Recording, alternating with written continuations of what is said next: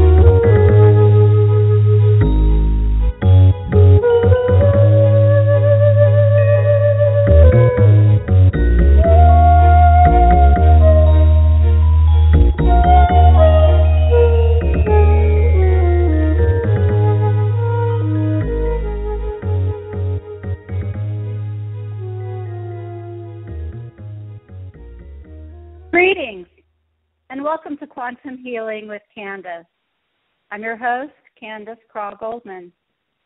This program was created to assist humans in this rapidly changing world. While it is expanding into new realms, it is based upon the foundation of the late, great Dolores Cannon's work. So thank you, Dolores, for continuing to encourage us to explore new worlds. Also, thanks to Greg Prescott and Michelle Walling at in5d.com for making this show possible. I'd like to take a moment to thank all of the supporters of this show, all of my In5D friends, the new ones I met in Sarasota last weekend, my New Earth Journey friends, my Facebook friends, QHHT practitioners around the world, and clients, and all of you who are in the chat room tonight. With humanity's new understanding and acceptance of the quantum world and the role that consciousness plays in shaping both our individual and our collective reality, we have plenty of subject material for this show. I am a full time practitioner of Dolores' hypnosis method and had the honor and extreme privilege of working with and alongside of her for several years. You can find out more about my practice of quantum healing and my consulting and coaching services at newearthjourney.com. And I'd like to mention that I'm offering my very own new quantum healing process that's available remotely.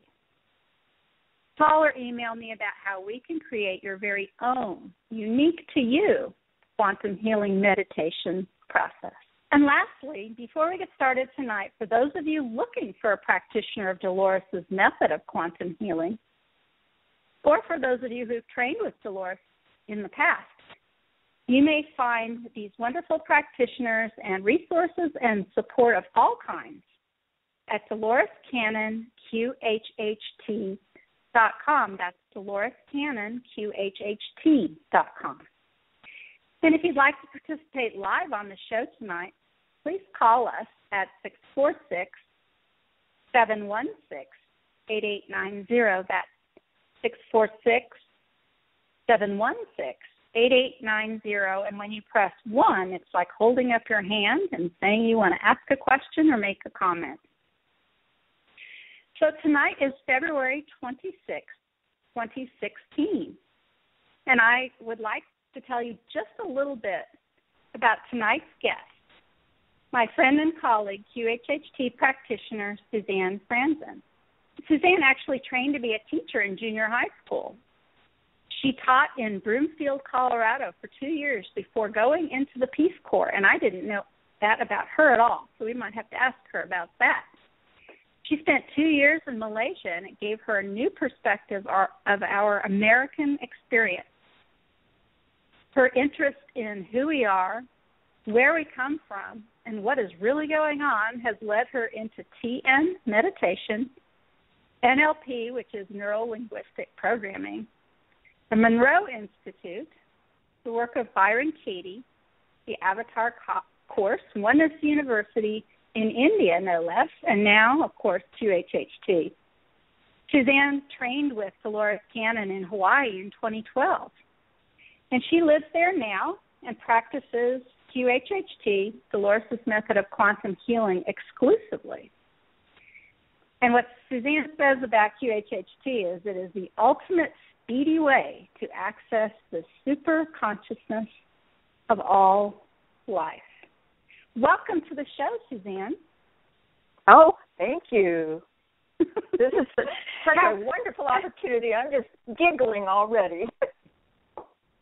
I have really looked forward to this show. I know that we've been talking about it for quite a while and one of the main reasons you're here is to to talk about a brand new published book of yours, but we will talk about that a little bit later. The the first thing I'd like to know is Suzanne, how did you find out about Dolores Cannon and how did you begin to practice her method? How did that come about for you?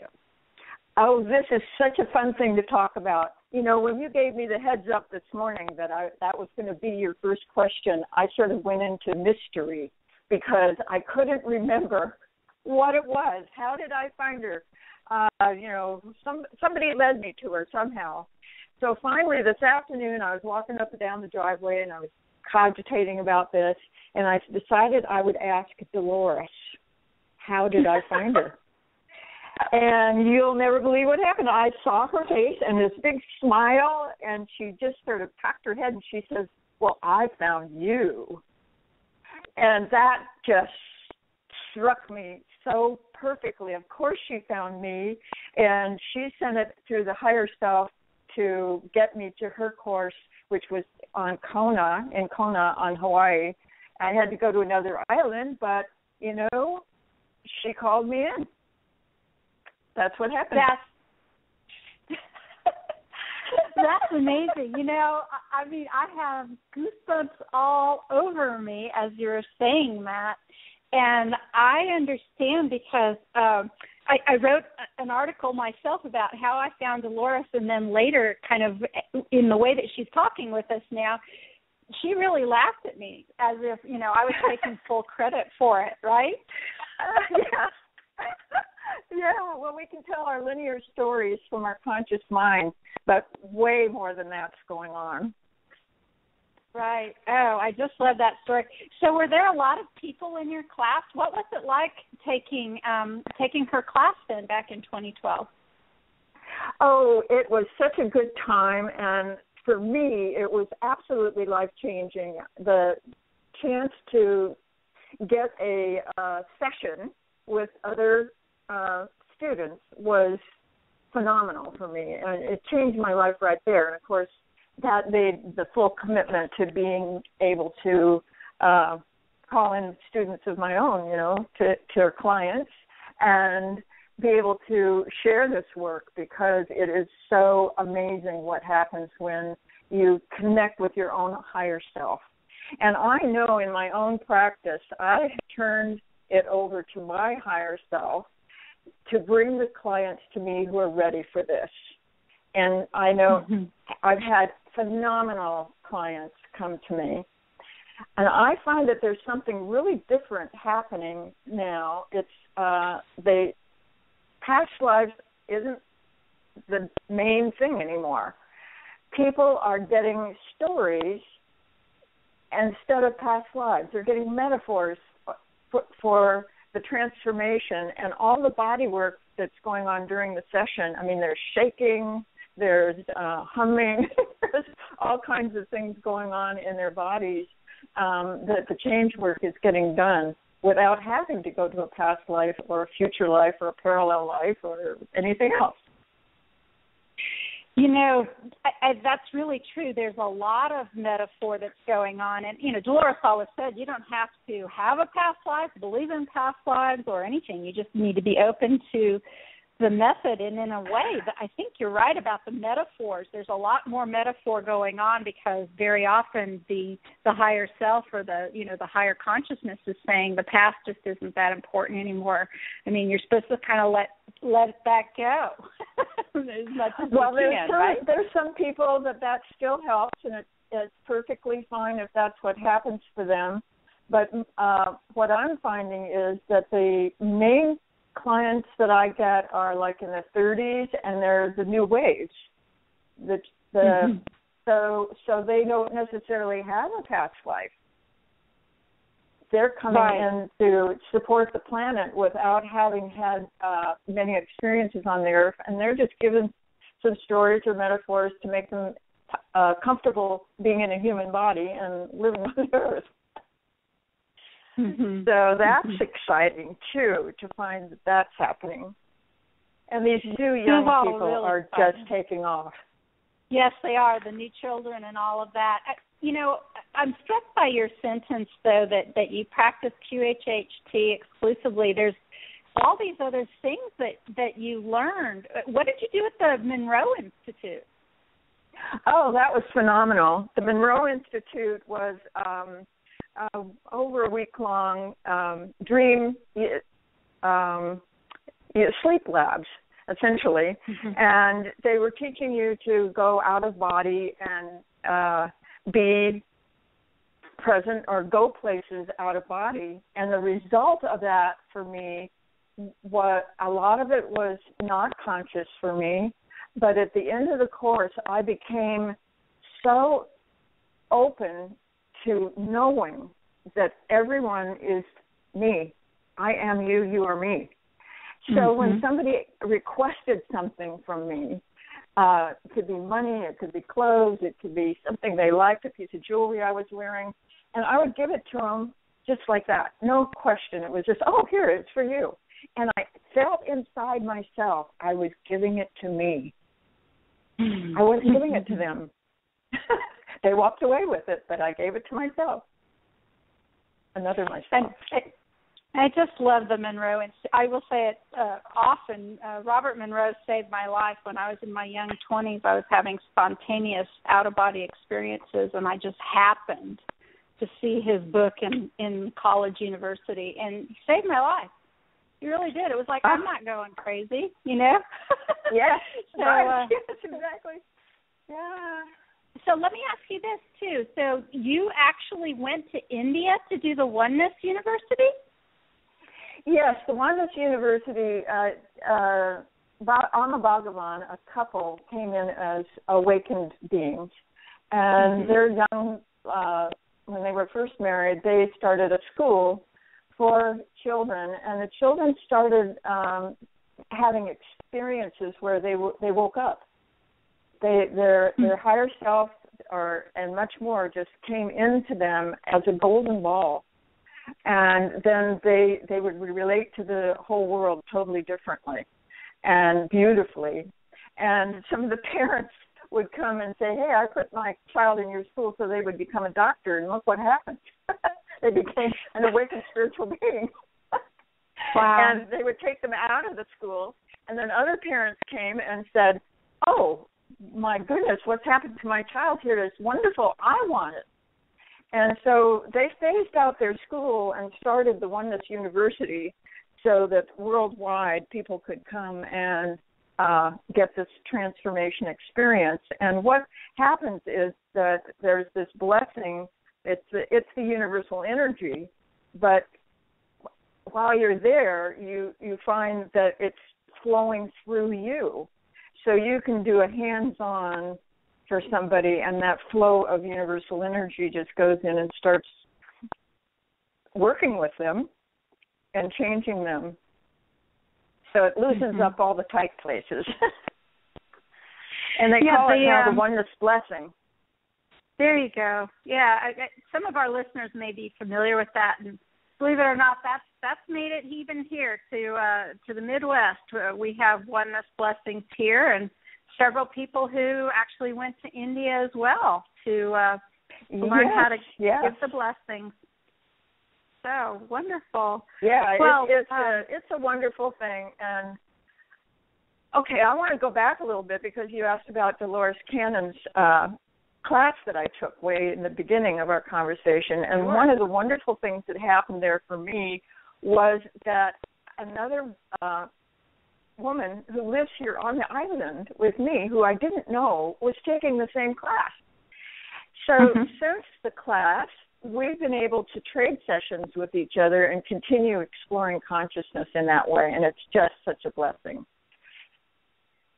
Wow. Do you have any stories about that then? I mean, you know, it's, it's always kind of nice to trade sessions with with somebody else. There's a little bit of the uh you know, uh you both kind of have a, an idea of what might happen and you give each other a little a little slack and it gets exciting and you, you know sometimes clients of course come with come with some quite serious issues. So sometimes doing a swap like that um uh, can be a lot of fun. Oh it's just really really fun. And i think on another uh call that we had i i called in to the show and commented about um having a lifetime as an elephant I remember that yeah, how much I love my ears, my flapping ears and stuff and so that was one that uh came up in one of the sessions with Diana, like my co uh worker here. Mhm. That I remember that. I even remember where I was. I was uh doing this show in Kansas City and I remember your voice coming in over over the year and telling it telling us about that. It was it was a really great great show. I bet I bet that changes now for you every time you even see an elephant. It must be a different experience. Talk about I am you and you are me. yeah, right.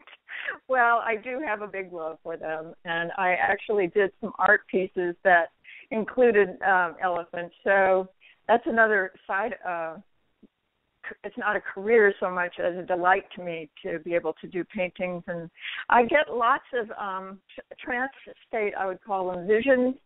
And so they come they become stories. And mm-hmm.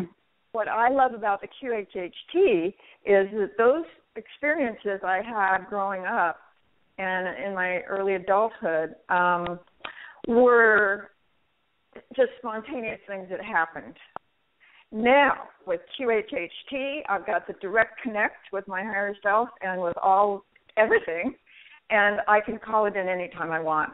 All I have to do is have mm-hmm. a question. So mm-hmm. I'm just thrilled with this, and that's one of the reasons I use it exclusively because it supports the person to know who they are and take off with it. Mm-hmm. And then mm-hmm. they don't need continuing therapy, support, come back, talk about it some more, forget all that stuff. so right. they, they just they they're they're transformed on the spot and amazing, amazing healing sometimes and definitely uh, I get feedback of, from the, the minute they walk out the door, something happens. Their phone rings and they're offered a job. You know, it's amazing stuff. So this is so Mm-hmm. much fun and so effective that I don't want to clog it up with anything else. Mhm. Mhm. So I just keep it pure. I don't uh, do any of the other things that I've learned anymore. They're just sort of on in the back of the closet now. Mhm. Understood. Well, um, you know, we are today going to talk about one of your clients and and a book that you wrote about several sessions that that you had with him. And so why don't you tell us a little bit about how all of that even started? And then you can tell us how this book burning world came to be. And by the way i've had so much fun carrying it around the last several days and even had somebody uh, stop me when i stopped to ha- grab a little bite to eat a day or so ago and I had this uh this gal sit down and start asking me all about that. She goes, "That looks like the most interesting book." And I looked at her and I thought, "Is she ready? Is she ready to hear about this?" And the an- and Yeah. the answer was yes, she was. So uh that was a lot of fun. So so tell us a little bit about um about your book and the client that inspired it and how you got together and just tell us how it all came about, would you? Well, I was going to tell a certain story about that, but it was the linear reality that we live in, and what I call the downtown reality, how it came about that I met him. But since I had that um, awareness from Dolores today, I think that, that the same thing happened with him. The behind the scenes, the higher self getting this man to me is what really happened. But the Mm-hmm. linear one, the linear linear story in the third dimension reality is there was a, a quantum healing um, tech, uh, practitioner in Colorado who was a friend of this man, and uh, he um, was he had moved back to Kauai, and so she told him she looked me up, and thanks to you and the forum, found me. So it's your fault. Mhm. you get yes, credit. it is. oh, Yeah. Well, you know what? You, you know, stay tuned for more of that because on our website, uh, which is again, of course, DoloresCannonQHHT.com, we now have a whole new tab just for our published authors. So with uh, the yes, pictures I of the books, that. and I say, yay, Isn't that- hooray. isn't that wonderful? Um, and it's It's It's it's awesome, yeah. astonishing. It's astonishing how many of you have have books out there, and of course, many of them are about about the sessions and the and the work that we do. But some of some of them are, you know, how how they woke up stories, or you know, similar similar kinds of subject matter. Um, all of that will be available, and and I've gotten to learn so much more about the the members in our community by asking, you know, who's written the book, and and there's a lot of people who are who are trying to. I know I'm trying to, but it just uh, it just keeps uh, it keeps getting shoved to the side of my desk while I get the other stuff. Uh, yeah, well, we've all got uh, this new channel open. I don't know how much of it is uh, due to uh, anything we're doing, or if it's just because there's a door that's been opened to our higher selves, and that doorway being open is giving us so much inspiration and so much new stuff, new things that hadn't been available before, but they're here now. Mm-hmm. So the book, And that's a little bit of of your book is a little bit of your book's about that, right? Uh, yeah, I would say a little bit. You know, it's interesting the responses I'm getting from the book because it's. I think it's going to be like a sleeper in a way. It's going to. It's going to be around, and people are going to pick it up, and they're going to read a little bit, and then they're going to say, "Hmm," and they're going to have to let it integrate because it's going to. Um, uh, what do I want? How do I want to say this? It's it's like we're so structured and we're so um, scheduled maybe and this is going to be the key that starts loosening up the thinking patterns and the awarenesses and even if somebody hasn't had anything any training at all or any interest in the metaphysical the quantum field they're they're it's going to start niggling at them until they go back for more and they go back for more i know as many times as i've been through this book every single time I go through it, something else pops up to me. It grabs my attention, and I want to go deeper with that particular subject. And it's it's a fascinating journey. So we do want the book to get out there, and the reason it's even came about was because Grappo came to me.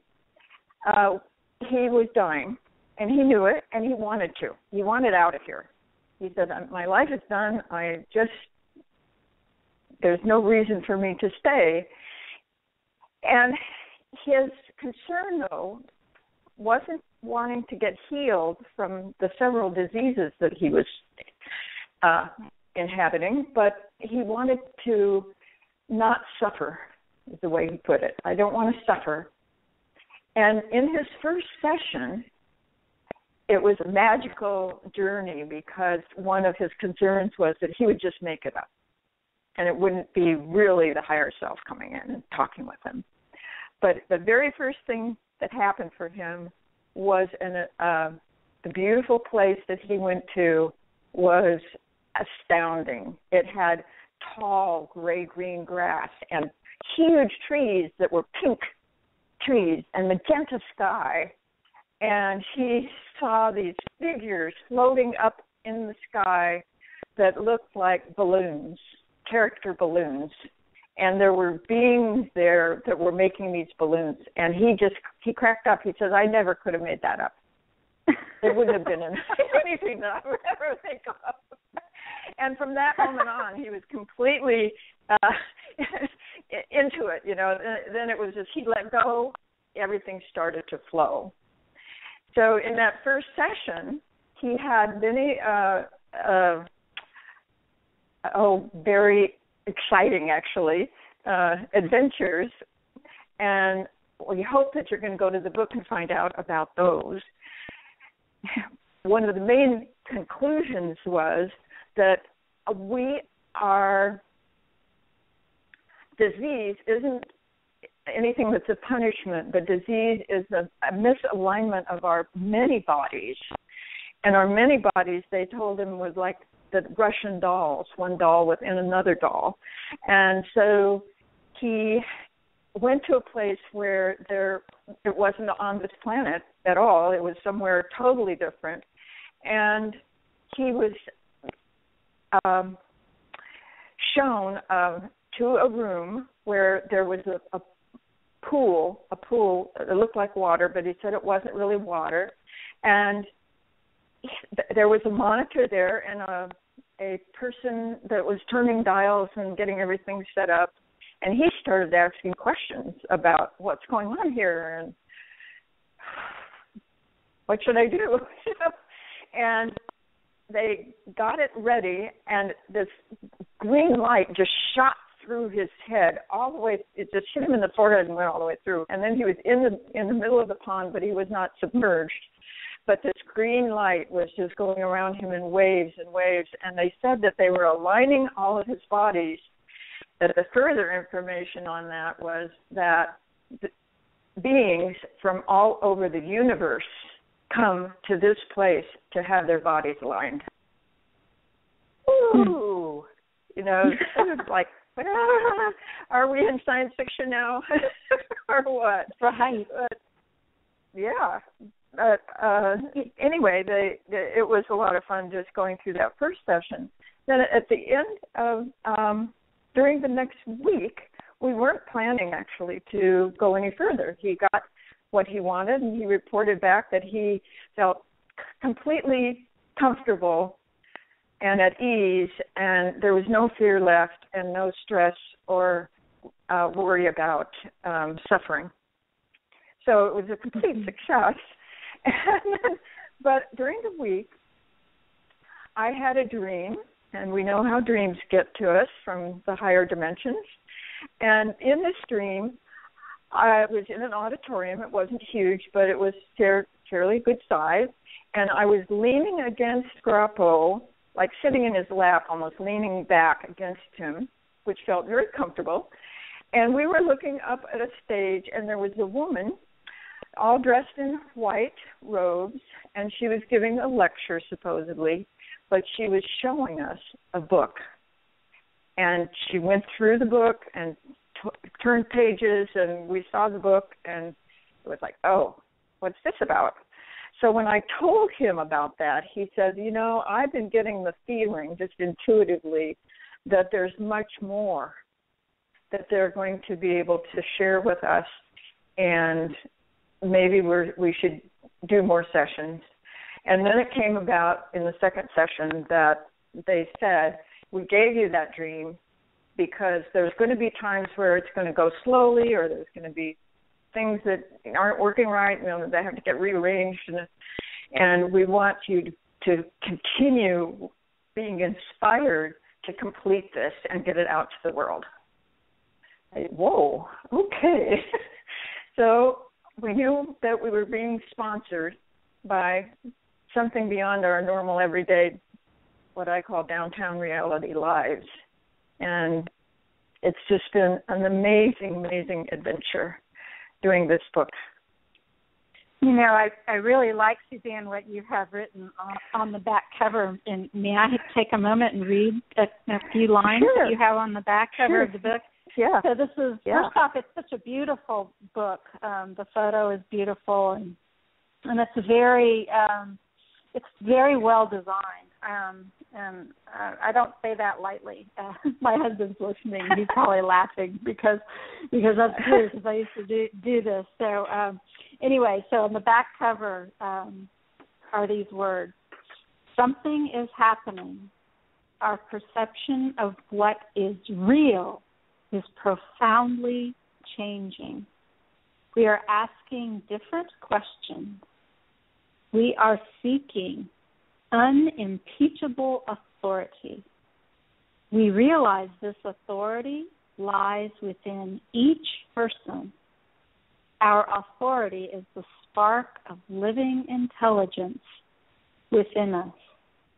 In our inward silence, we have heard its voice guiding us to change. We call it guidance, and the voices guide. It's really beautiful words, and there's so many inspiring, inspiring um, revelations, ideas, and sentences. It's it's not a large book, but it's one of those books that I I do believe if you read it more, more than once, like you said, even you, you're going to get more out of it every time you look at it. Yeah, yeah. So for my uh, sister-in-law, she's somebody that has never delved into any spiritual path or um, been interested at all.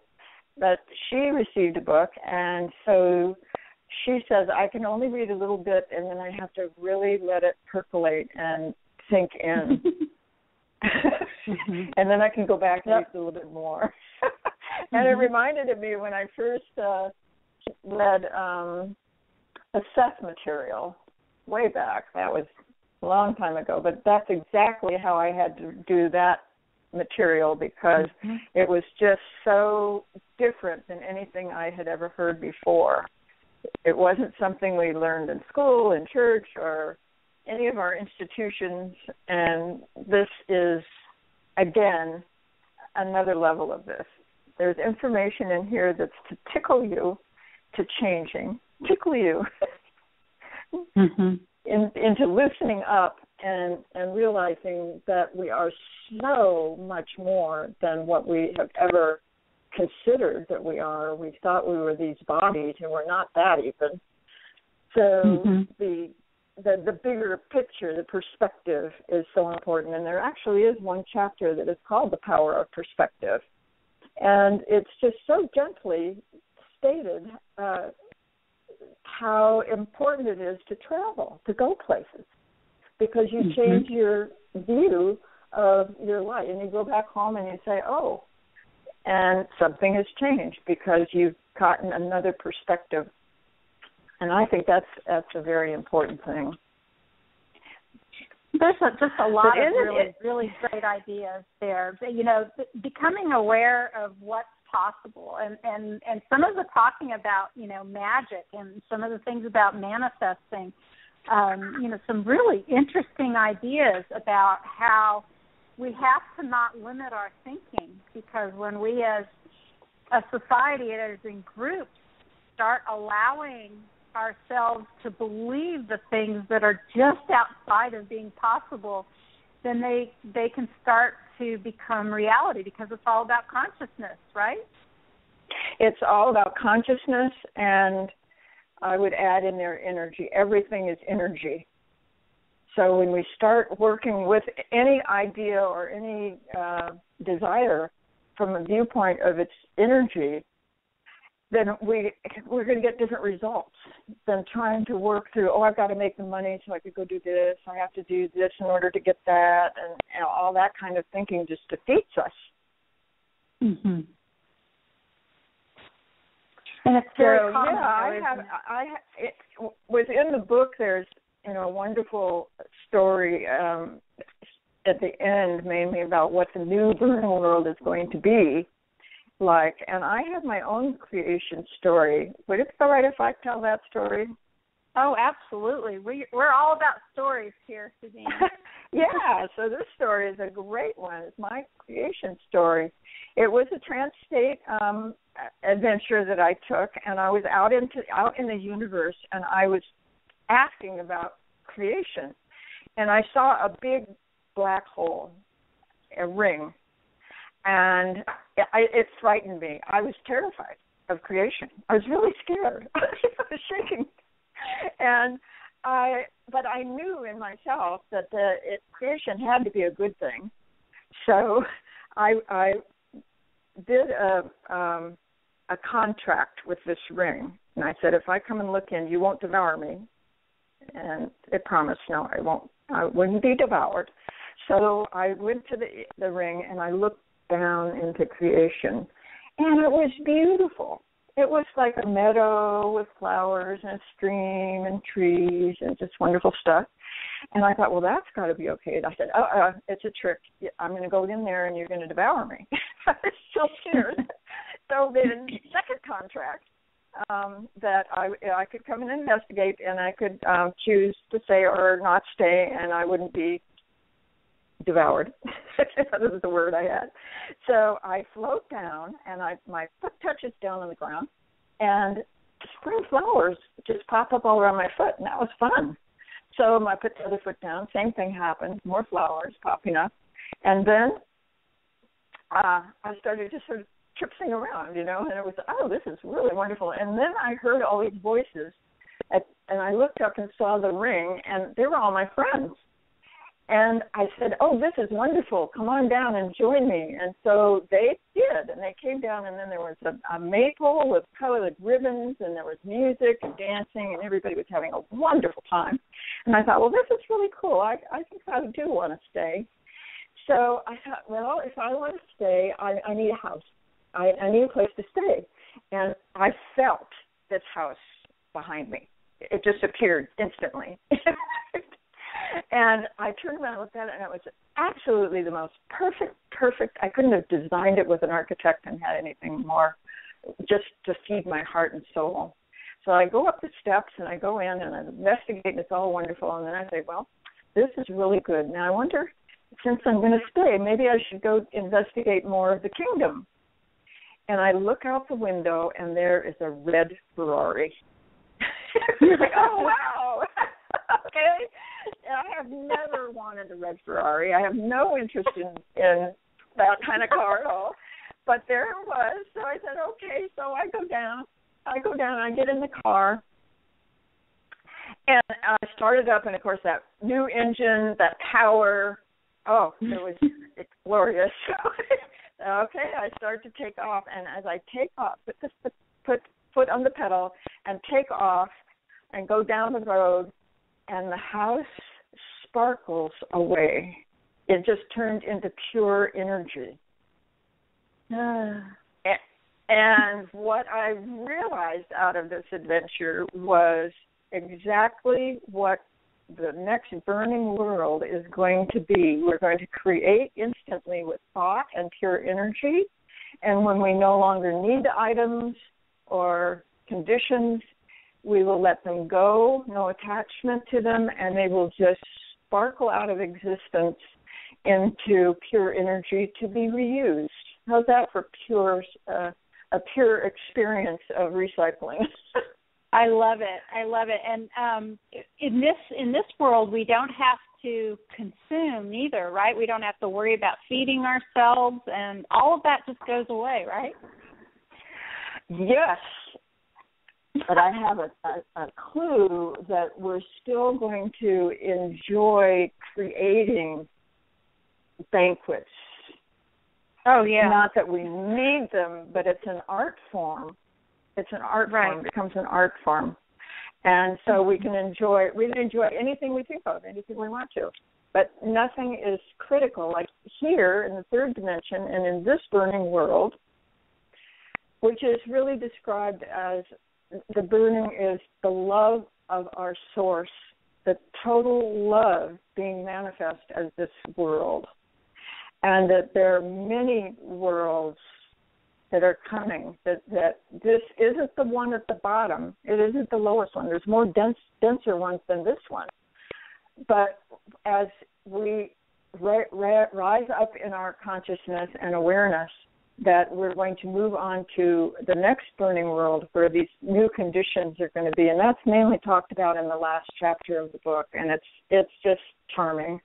It's charming. You say oh yeah okay i i know now that that's where i get to go. If i stick around in creation that um fine.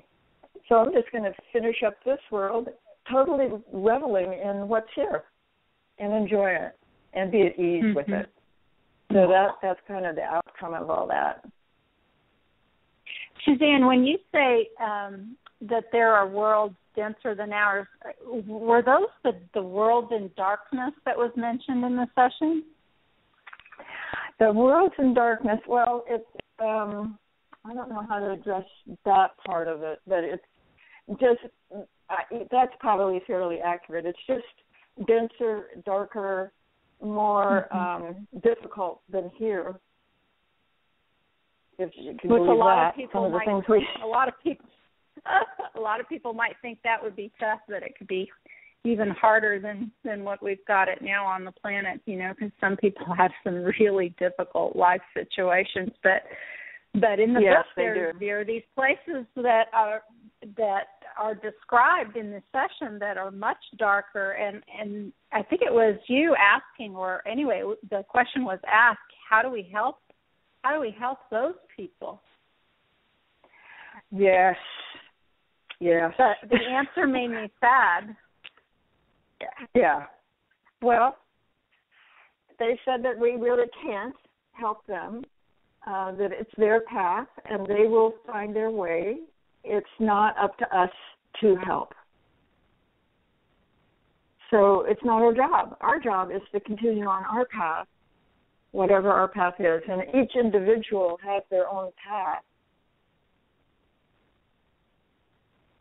Is that the way you understood it too? Yes, absolutely, and and I I really liked that. Um, there was it it it brought into the awareness, the the the phrase, the idea about um, trying to come to a resolution, and it was yeah. pretty. Grappo was uh, um, pretty adamant about saying that resolution wasn't about like coming to some sort of agreement. Oh, let's see, I even wrote it down. Resolution is not the answer. Um, it's doing uh, your own path in your own particular way is Lucian, and I love that because it's all about authenticity of you know your own you know your own version, your own reality, your own creation. So you retain your individual um, sense of self, yet there's still a, this group consciousness thing going on at the very same time. Would, so that's a lot of fun to read about. Yeah, yeah, right. Yeah, and the group consciousness part of it uh, came up in uh, oh, what chapter was that? Chapter um, hmm, about groups, anyway. Is that right? That's what you're thinking of? Well, I I actually yes, and I have I have page numbers. I don't know what chapter it was, but it was at page seventy five. Um, there was uh, some beginning, some talk about how the idea of you know, if you hang out in a cave or in your own house and you really, really separate yourself, um, you're not doing yourself or humanity a lot of favors. That it's actually um, a very good thing to go have your coffee in a coffee shop. That simply, simply doing that changes the dynamics of the whole. And and there was a lot more talk about that about you know how to do that. You don't have to teach a class, you don't have to give a lecture, you don't have to whatever, but but simply um, proximity to other humans is a great part of why we're here and what we're doing. Right, and this is kind of another aspect of the behind the scenes where our higher self uh, is out in public then and connecting with the higher self of all the others in whatever group you're in if it's a restaurant a movie in the mall um, a coffee shop, whatever it is, and you don't even have to be paying attention to it because they're handling it. Your own higher self and the higher self of the others, and they're raising the vibration of everyone in, in that area. So it puts a whole different spin on if you're going to go to a movie. You're not just going mm-hmm. to a mm-hmm. movie. You're participating mm-hmm. in a grand adventure of the higher self connecting with everybody in that theater. So even if you don't know people and don't don't know their names or anything, and, oh, and no. there, there's still this exchange and all of that. So how does that, Suzanne? How do you think that plays out? It got me thinking about things like um, our original support forum community. You know that that we've kept it together, and and there's uh, individuals and members around the entire planet. Of course, we get together when we can, but but we're an online community. How do you think? How do you think that works, or does it work? Yeah, I mean, it seems like exactly. Of course, it's the same thing. We're connecting mm-hmm. with each other. We're sharing stories, and any time we're we're connecting in any way, there's a greater connection going on. Mm-hmm. It makes it so much more fun to go out in the public and know that that it's it's not just your little self going out and you know wanting to satisfy yourself with a, a latte, you know that you're actually doing something that you don't even realize you're doing. So just enjoy it. Be there and and relax. and Let it happen. Mm-hmm. And you mm-hmm. don't need content. You don't really need content. Mm-hmm. But this whole idea of hugging is wonderful and then just smiling at somebody, saying hello to somebody that's there in the shop. Uh it's it's a it's a new way of thinking about magic. Mhm. Mhm. It really, it really is. It makes me. um it, it, Let's see. I wrote something down about batteries. Sort of. Oh, something you. What did you say about? Oh, I can't even read my own handwriting. But something about that charges up your batteries, going out like that. Yes, yes. Uh, if you go with the right perspective, A perspective of enjoyment and loving and laughter and joy and play and you're you're going out to experience the creation mm-hmm. and you're going to get the very most juice out of it you can you know and you have to relax into that and instead of trying to fix things and finding fault right. with those take you mm-hmm. down into the depths of the ugh, dark so and, and, and we have a habit of trying to do that. We're always in judging every everything. I mean, look at the politics right now, or uh, or the money situations, or you know people's relationships, and everybody's saying, "Oh, it's your fault, your fault, your fault." Well, there is no fault. That's an yeah. illusion, and it's a perspective. And where does it get you? In the dumps. Right. So it reminds me of the perspective reminds me of the phrase that you used throughout the book about putting on the brakes. Oh yes, yes, and that's a whole other adventure. That's uh, a, a very important part of this book, putting on the brakes. Uh, the title of the book, Burning Worlds, and then it says the first principle of creation, and it, it implies that those are connected. That the first principle would be the burning worlds, but it's not. We tricked you. I tricked me. well, why don't you explain that then? They're they're two separate things. We've talked a little bit uh, about the burning worlds and that there are many different ones, and we get to go to in the next more advanced, more advanced, more advanced. It's just like going through school. You go through kindergarten, and then you know pretty soon you're in junior high, and then high school, and then you make some choices and whatever. So we we do we actually, in consciousness, go to the next burning world. But the first principle of creation is actually the souls that are at home with Source, and they are traveling a train, say they're in a train, and they look out at the view of all of everything, and they see a small dot. And they say, Well, what is that dot? what's that dot? And they want to investigate. They get curious. So so they go they get closer to it and they see it's called creation. That dot. that tiny dot. Mm-hmm. And it, that dot is expanding as more uh, souls come into it and have experiences. They the whole thing is exponentially growing, but it's still a small dot in the whole perspective of cre- all that is. And I love that idea. I love that idea. Yeah. You know, who I've heard that before is um are you familiar with um uh Mr. Uh Jim Self?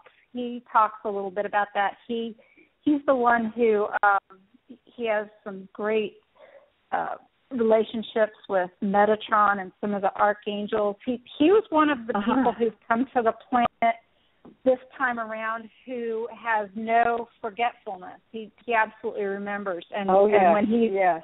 every time he sleeps at night he just goes he goes back back home and he talks about all of this. So he has a very you know, he doesn't get very flustered or anything. He's got some great um some great classes and information out there, but one of the things that he said that I heard him say well multiple times but but I love this because I got to read it in your book too is about that dot and he said you know there are massive amounts of of realities out there that don't even know about this thing called physical reality because it's that dot. they, they don't yeah. even know that it exists that the majority, uh-huh. majority, majority of what actual creation is doesn't. Uh-huh. We aren't hardly a blip on the radar of what creation is. So, so, so people, humans, can think, oh, you know, all of creation, and then they might think of planets or galaxies or whatever. And and the thing is, is that's what you're saying. All the planets, all the galaxies, all those physical dimensions are that dot. Well, yeah. but even beyond that, all of our supposed gods, dimensions, parallel galaxies, universes, the metaverse, yeah. they're all in form or in the dot. So we yep. may not be able to see them because they're in a different frequency than we're in, but they're still part of creation. Mm-hmm. All of it, all of it, all of it, all of it, all of it. And then when you get out of creation, you're essentially home. You're back at source. Mm-hmm. So very, very interesting. Cre- the creation, though, is so fascinating, and we love it. We are so greedy to experience everything. So most likely, we're going to stick around going further in creation to the next burning world and then the next one and the next one. They said it's infinite. but if you want to step out of creation, there are clues in this book about how to do that. If you're really at the place where you're ready to step out of creation, there's no point in being in any of it anymore, and you want to go back home to source, well, read the book. it's there. It's there. The hints are there. So, do you do you see your friend anymore? Um, how, oh how, yeah, I talked with him this that? morning. Oh, I Uh-huh. talked with him this morning. He's so excited about this show. He's gonna he's listening in, I'm sure. And uh I asked him, you know, one of his guides that he he was uh shown and worked with in in the story that we tell in the book called Sister. And they said they had many, many lives together and they are explaining uh some of the things that are going on in creation and how we can do be with the um, the physics and the uh, chemistry and, and everything else that's in creation so that we can be at ease instead of trying to fight it all the time. Mm-hmm. And that's that's an important and some of what you were saying about the physics that's pretty interesting too that that some of that um they're the, they're not as there aren't as many hard edges and boundaries around physics that you know that what we think there is. Right.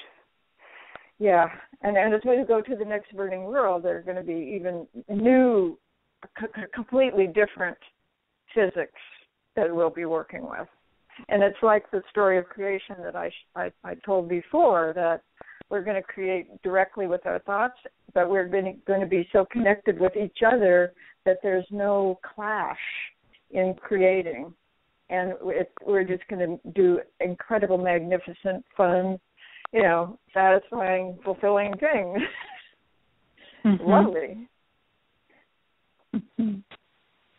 Well, um, you know, speaking of um, creation in the burning world. So so there's this concept I liked in there too in the book about how there's like a network. You you made uh, quite a point. It's not really linear, but there's a network of these worlds that are that at, that at their base are you know come from the element of fire, which is where the you know the whole idea of burning worlds is, and then the next world and the next world, and then you know, just as I'm thinking, gosh, could this possibly have anything to do with global warming? Because I've always thought that it has, and, and in my own quantum healing sessions, I've uh, you know asked some of these questions or some of this information has come forth, and then then I turn the page and you ask the exact same question. I just loved it. I mean, I'd like I burst out laughing because I'm like, yes, if I'd have been there, I would have said the same thing. I felt like I was sitting in the session with you. Oh, great! Yeah. so, and yeah. so the idea, so the idea is, yes, it really does have something to do with some of the global warming ideas. You know. Yes, that the Earth itself is evolving and changing, and it's not our fault. That that's such a, a relief. I mean, we're all into the blame game, and right. so it's your fault for doing this and it's their fault for doing that and we shouldn't do this and you should be you know uh, the rules that we impose upon each other that confine us and make us miserable are just rampant so to me this book got me off the hook it said you know mm-hmm. it's not your fault and the the earth is doing its own ascension plan and it's on its path. It's doing it perfectly. And yes, warming up is part of it. Right. And yeah, I've always I've always thought that it was kind of silly to think that that we could really I mean, we we have taken advantage of our planet. That is for sure, and we've polluted it and we've dirtied it. But um, I've never believed that what we were doing um, as a society, you know, humanity could could really change the temperature like it is on on the planet. And you know, I've heard even um, you know mainstream science talk about the increase in planetary temperatures of you know some of the other planets in our system. Well, you know, I don't think our greenhouse gases are going through, you know, through space and going and gathering around Mars or whatever. I mean, it just seems it's like, you know, the the whole solar system is getting warmer and um so some of that made some nice sense for me too reading that. Uh-huh. Uh-huh. Good. Good. Well, do you feel that same sense of you know, after reading this book, or is that not settled in yet since you just finished it this morning? um, no, I you know I knew that already. For for me, your book was um, was great confirmation for things that I already you know many things that I, I personally already felt or, or discovered. Um, and I love this. I, I love the idea about um, you know the authenticity within the perspective and the individual and in the self. Um, you know, just uh, just leaving the In5D um, Superpower conference, uh, you know, yes. last weekend, I got I got into a uh, a little Honda Uber Uber car. I got Ubered to the uh, to the airport, and uh, and and the fella he was pretty interesting and he looked over at me oh you know what you're doing in town? Oh you know i was here for a conference. Oh did you know did you enjoy it? Yeah you know well what was it about? And i'm uh-huh. looking at him you know you have that moment of well am i going to tell him what this is about or not? So well you know so i you know i see if he's interested. And boy he asks a lot of questions. But um here's what the entire gist of our um, of our drive was, and I think it, it your your book uh, satisfies and uh, agrees with the with the entire point of my conversation, which is he kept trying to ask me questions that would make one concept correct and another one incorrect. Uh, I mean, he kept, yeah. you know, usually kind of, and some some in belief or theory or maybe religious or or um you know like that but but you know i kept looking at him and i i i said it very very nicely, um, you know, with a smile on my face, and I said, "Well, from from this perspective, it's not that one thing is right and another thing is wrong. So what you're sort of saying is it has to be this or that." And and I said, "But this way of thinking is it's far more that it is it can be this and that, but it doesn't negate each other. You know, it exactly. Does, you don't have yes. To, you, you don't have to be fighting. You don't have to be right. You don't have to get all upset about anything. It's just like you know, it's it's this and that, and it's it's in the tiniest of words. It just brings great relief. At least it does to me. Oh yes, either or realities are very difficult. and how do you ever right. choose anyway? If it's just that, uh, no, anything is possible. I love it. You know, I dedicated this book to my mother because she taught me so clearly that. Well, she says this at 80 years old. She says, "Well, what I've learned is that life is short, and I really don't know anything, but anything is possible. And at 90 years old, she says, You know, my theory is that everything that ever was or ever will be is happening right now. So she knew about simultaneous time. And Yeah. that means we can go back in history and find out what really happened. Well, guess what? We can also go into the future and find out what are some of the possibilities that we get to choose. Mm-hmm. Hey, you mentioned us. something. You mentioned something about how you talk to your uh, to your mom in, in the book. Would would you talk about that? Because that was another time that I was jumping up and down because that's uh, that's one way Dolores Cannon, um, you know, pops in her head in, into my world and talks to me. T- tell me what that's Yes, like. I, I, I, if I have a question, I mean, I talk with my mom all the time. Just you know, I share stories with her and stuff, and I don't hear back so much, but I feel the presence. I just feel like, yeah, it's, comfort, it's comforting, you know.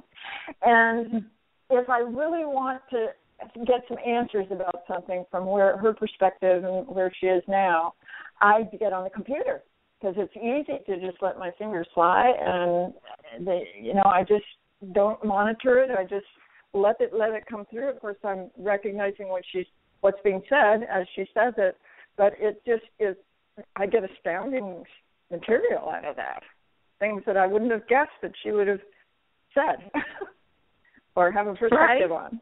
Yeah.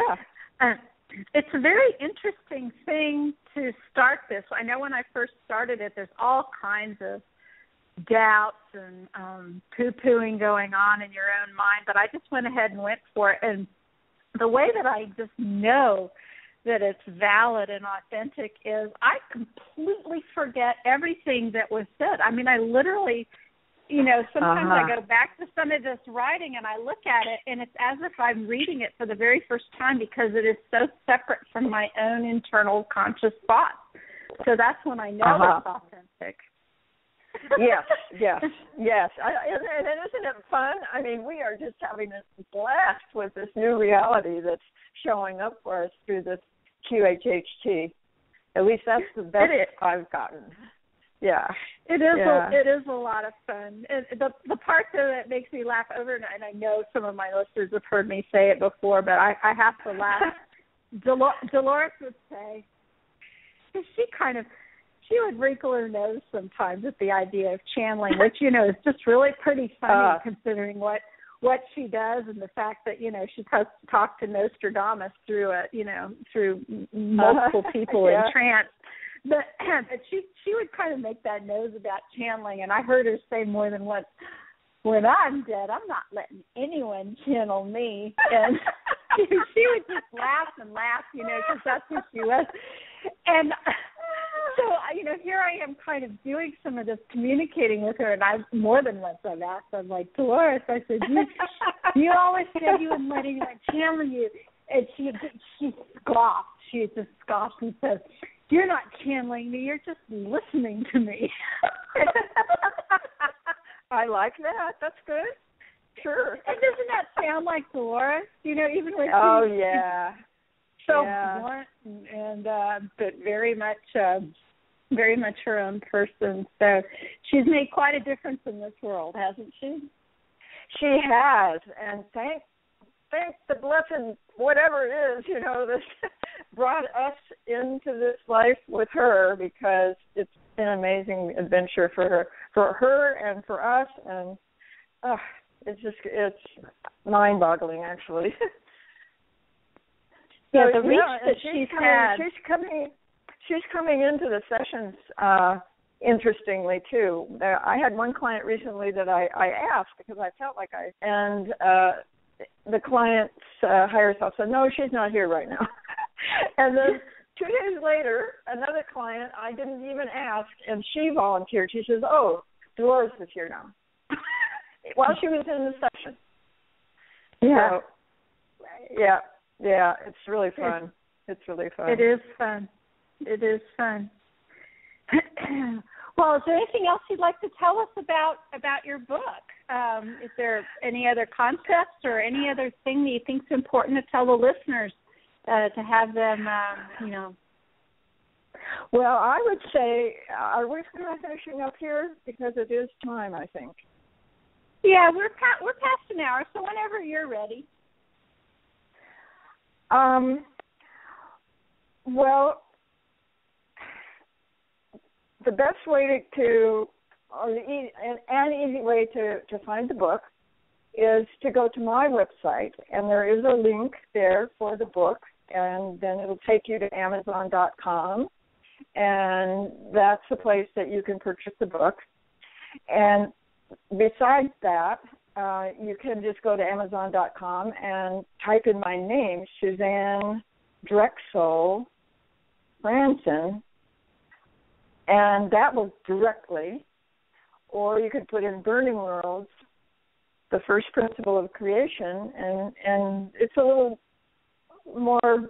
You have to go to this and that before it, uh, you actually find it, but it works.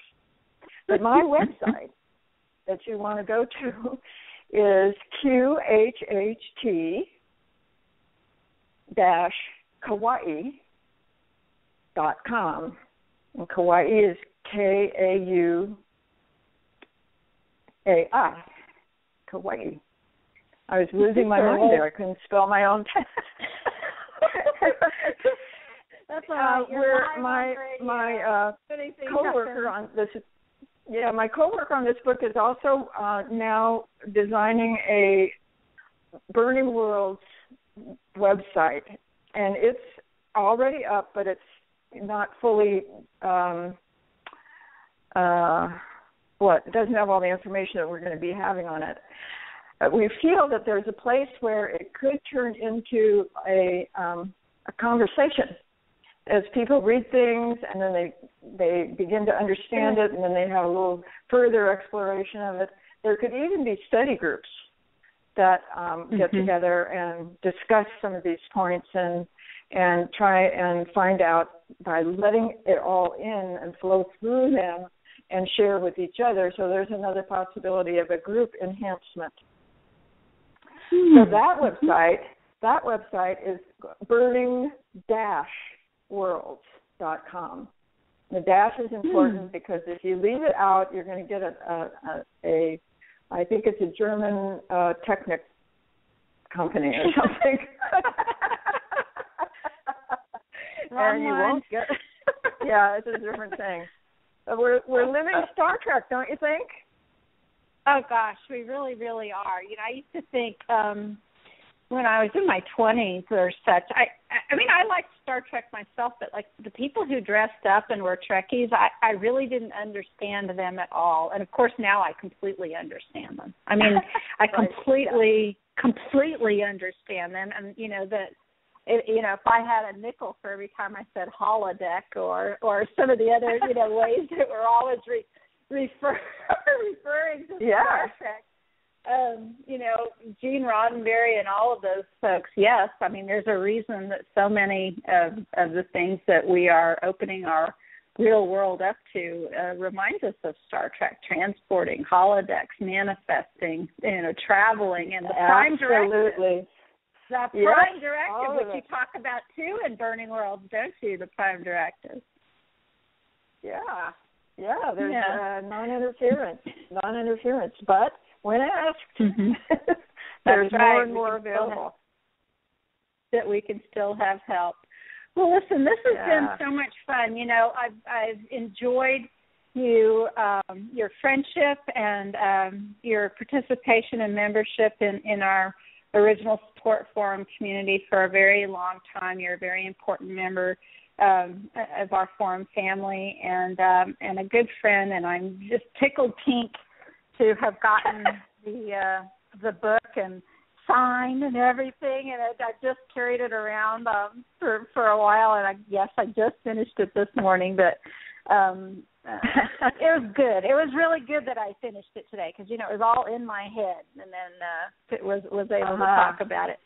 And and also. um you can also find the book uh, at the Dolores Cannon website because we have now have the authors page. So um, so thank you, Suzanne, and, and thank Grappo for me. Grappo, I'm going to send you a big old hug. I hope you are listening live. Uh, thank you so much for allowing Suzanne to take the sessions and turning them into a book and um, and sharing it with the world. Dolores is pleased. I see her grinning from from ear to ear. So um Oh so thank yes. When I when I first uh contacted her, she was still living, of course, and I uh, she told me that she was going to be publishing this book in an email, a real live email. Wow. and and then she passed and there was such a, a turnover and it was taking such a long time so i went ahead and self published so that i could get it out there quicker and i'm really Thank glad goodness. that i did oh, yeah it's I- been a- quite an adventure I am so glad that you did too. And we're going to add more and more books to our our site and get more and more people interested and hopefully we can get spread the word about your work and others. so is there a link to that for the public Oh, absolutely. It's that uh, just- Dolores. Yeah, that's in the Dolores Cannon QHHT.com website. It's it's where the listings of the practitioners Oh, okay, is and okay. all the information. We also have a, a, a blog by other practitioners that um, that is there that we we take stories from from people who have amazing sessions all around the world and different things that happen in them. So um, yeah, it's, it's quite the little portal, and and we're redesigning it behind the scenes too, and hopefully. Um, okay well i want to yeah on my burning world on my burning worlds website i want to put that in the sidebar that Oh, so that people can get to that Absolutely. Well, I'll- I'll make I'll make sure that that uh that you get that information. So, well, thanks again for for spending the evening with me, Suzanne, and and our listeners. Um, and we will Well, this is this is see you on the forum. en- enhanced adventure. Thank you so much. Well, it's really been great. Well, thanks again. Yeah. Okay. Okay. Well, we'll talk you, to you later then. well, we're about out of time for the show this evening, and I want to thank all of you out there too who tuned in to listen, and all of you out there who are listening to an archived version of this show in the future, either on the Blog Talk link or for the YouTube channel. And thanks again to Suzanne. And I'd like to remind those of you interested in quantum healing or looking for a practitioner of Dolores' method, you can find all of that information at DoloresCannonQHHT.com. And you can find out more about me and my practice at NewEarthJourney.com. So until next time, sleep well and many blessings to you all. Thank you so much.